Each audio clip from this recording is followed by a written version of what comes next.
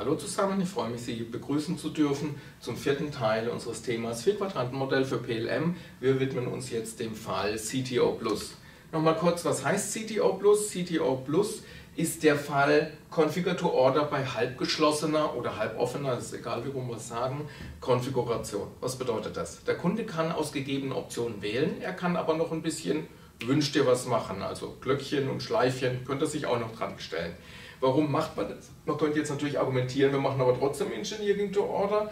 Der Grund, die Konfiguration geschlossener zu machen, ist, dass wenn der Kunde wählen kann, er vielleicht viele, viele Optionen schon lang hat und man ihm natürlich, wenn er nur Optionen, die es schon gibt, wählt, dann können wir ihm äh, eine relativ kurze Lieferzeit bieten und kann man sagen, hey Kunde, hör zu, du kriegst eine kurze Lieferzeit, wenn du Dinge wählst, die wir schon haben. Wenn du aber Dinge wählst, die du extra haben willst, mach mal die gern, Lieferzeit länger, Preis natürlich höher, aber ist kein Problem, machen wir dir. Das wäre also so ein bisschen die Vertriebsstrategie, die dahinter steckt. Gut, wie sieht das Ganze im Vier-Quadranten-Modell aus? Wir hatten das Vier-Quadranten-Modell für CTO, ist auch hier ganz ähnlich. Wir haben wieder einen Variantenraum, aus dem der Kunde bestellt, aber der Kunde bestellt im Prinzip noch ein paar Extras, die wir hier irgendwie notieren. Wie immer wir das machen, ist noch eine andere Geschichte, eigentlich im Rahmen einer kleinen Requirement Specification. Auch hier haben wir den kleinen Ab gleichen Ablauf, dass wir jetzt im Idealfall hier in die Logistik reingehen äh, und im Prinzip unsere Stückliste generieren. Aber wir haben den Sonderfall, dass wir nochmal in die Technologie nach oben müssen. Warum? Der Kunde hat Sonderwünsche. Die Sonderwünsche müssen wir ihm entwickeln. Dazu müssen wir erstmal nochmal in die Technologie diejenigen Baugruppen anfassen, die sich verändern. Die werden hier entwickeln und die dann entsprechend zurückspielen. Dann haben wir erst an der Stelle die Stückliste fertig und können mit der Stückliste dann in die Produktion gehen. Achtung, das ist jetzt der einfache Fall, den wir bei CTO haben. Warum? Er setzt voraus, dass die Sonderwünsche, die der Kunde hat, nur an ganz wenigen Baugruppen wirklich äh, wirken. Jetzt ist das Problem, dass ein Produkt hinsichtlich Varianz gutartigen oder bösartigen Krebs haben kann. Klingt drastisch, das heißt nicht, dass ein Produkt schlecht ist, wie, wie bei Menschen. Wenn ein Mensch gutartigen oder bösartigen Krebs hat, ist er trotzdem ein toller Mensch aber das ist halt in sich drin. Aber ich will mal erklären, was heißt das fürs Produkt. Es kann sein, dass die Varianz, die wir im Produkt haben, stark strahlt auf andere Baugruppen, bösartiger Krebs, oder gar nicht strahlt. Ich mache mal ein Beispiel. Wenn wir einen Stuhl haben und nur den Bezug ändern, dann strahlt diese Varianz nicht. Der kann Leder sein oder sonst was. Von den Abmaßen ist alles gleich, im Kern bleibt der Stuhl derselbe. Dann funktioniert das hier ganz gut. Es kann aber auch sein, dass wir eine Variante haben, dass der Stuhl vielleicht mehr Gewicht tragen muss. Plötzlich müssen wir quasi die ganze Konstruktion verändern. Damit verändern sich die Maße und alles verändert sich am Stuhl. Dann reicht dieses Vorgehen gegebenenfalls nicht mehr und dann müssen wir den Weg, ich sage immer lapidar, oben rum gehen statt unten rum. So, das will ich auch mal kurz aufzeichnen. Das ist dann nochmal ein bisschen komplizierter. Der Kunde bestellt also und macht natürlich oder definiert seine Sonderwünsche dazu. Jetzt wird die Technologie entwickelt. Der Teil, der geschlossen ist, wird hier direkt übernommen, aber es wird ein Teil dazu entwickelt. Die Problematik ist, da die Varianz und die Sonderwünsche jetzt überall im Produkt hinstrahlen, können wir nicht einfach hier in die Materialwirtschaft gehen und sagen, ach das und das und das kannst du schon mal kaufen, sondern es muss jetzt alles qualifiziert werden äh, von der Technologie und dann haben wir zum Schluss quasi eigentlich einen ETO-Prozess, der da abläuft. Natürlich diejenigen Baugruppen, die wir hier oben haben, die es schon gibt, die haben wir natürlich hier unten gespiegelt im ERP drin, die können wir direkt übernehmen, aber wir müssen natürlich hier entsprechend neue Artikel anlegen und können dann erst in die Produktion gehen.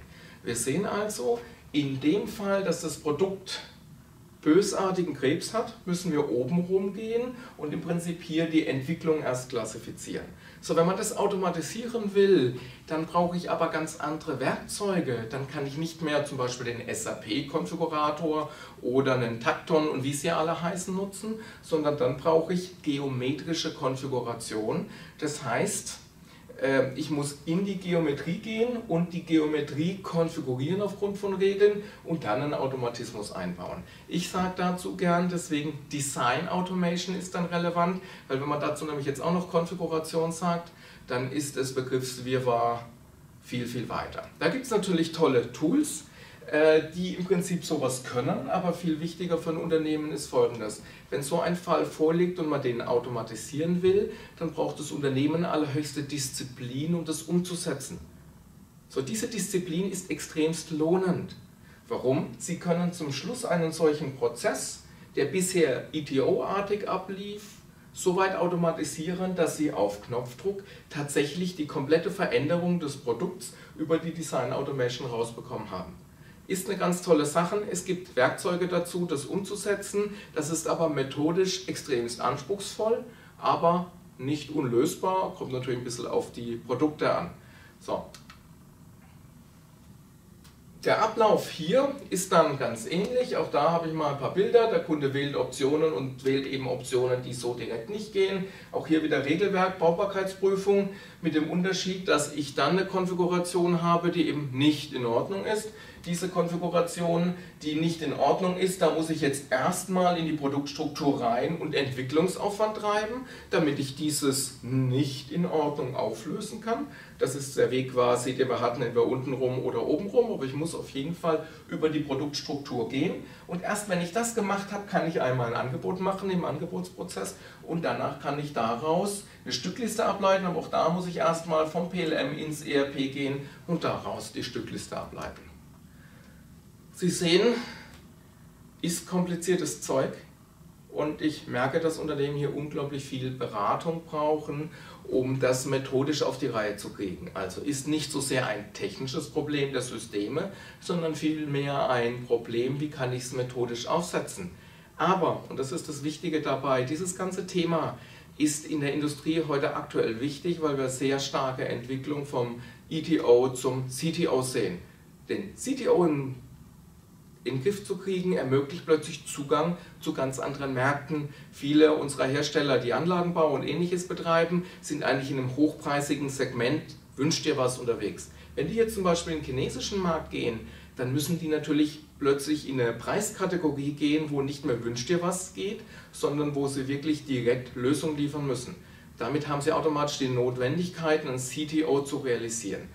Dazu ist auch der Knowledge Shortcut, dass man die Grundüberlegungen einfach schon mal hat. Den ganzen Rest muss man mal dann tiefer legen. So, ich freue mich sehr, dass Sie dabei waren. Herzlichen Dank.